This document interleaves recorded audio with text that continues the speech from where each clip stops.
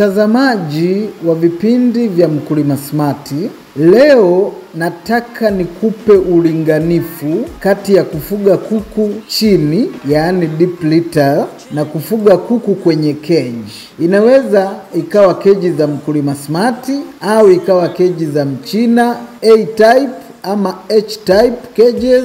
Hicho sio kigezo cha msingi. Tuone utofauti wa mtu anayefugia kuku chini na anayefugia kuku kwenye keji. Moja, mtu anayefugia kuku chini, kuna uwezekano mkubwa kuku wake wakapata magonjwa, na magonjwa yenyewe wanaopata yanatokana na uchafu, kwa sababu kuku wakiwa chini watakula mavi yao kuku wakiwa chini watachafua maji, wakisha yachafua watayanywa, na kuku wakiwa chini watakuwa wamewekewa maranda, ambayo maranda na yenyewe inakuwa ni jambo linaloleta magonjwa.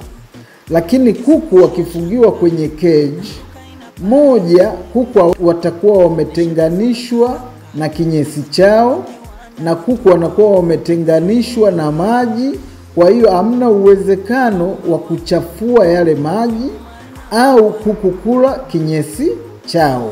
Lakini ulinganifu wa pili, kuku ukiwafugia chini watamwaga mwaga chakula, na wewe mfugaji utapata hasara kubwa ya chakula kile kinachomwagika, hasa kwenye maranda.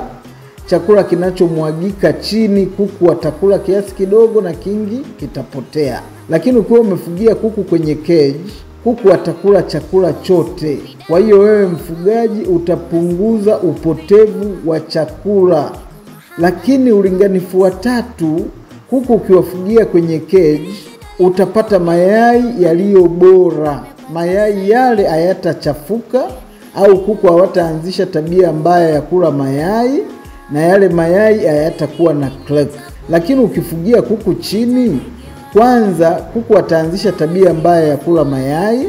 Pili, kuku watachafua yale mayai, watayakanyaga, kwa hiyo yanaweza yakapata crack yakavunjika, na ukipeleka sokoni mayai yako hayatakuwa na ubora. Ulinganifu mwingine, kuku ukiwafugia chini, eneo kubwa utafuga kuku wachache na hao kuku watakuwa wanalandalanda huku na kule, na wewe mfugaji utakuwa na kazi kubwa na nzito ya kutunza hao kuku wachache uliowamwaga chini. Lakini kama umefugia kwenye keji, utafuga kuku wengi katika eneo dogo, utatumia muda mfupi kuhudumia kuku wengi. Kwa hiyo utakuwa na muda mrefu wa kufanya mambo mengine.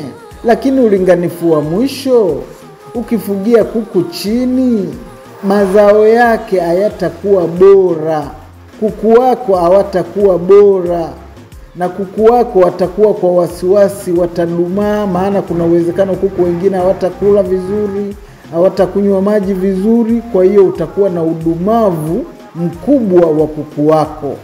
Lakini ukifugia kwenye keji, basi kuku watapata chakula wote, watapunguza stresi ya magonjwa watakuwa na ukuaji ulio sawasawa, na wewe mfugaji utapata faida kubwa ya ufugaji wa kuku.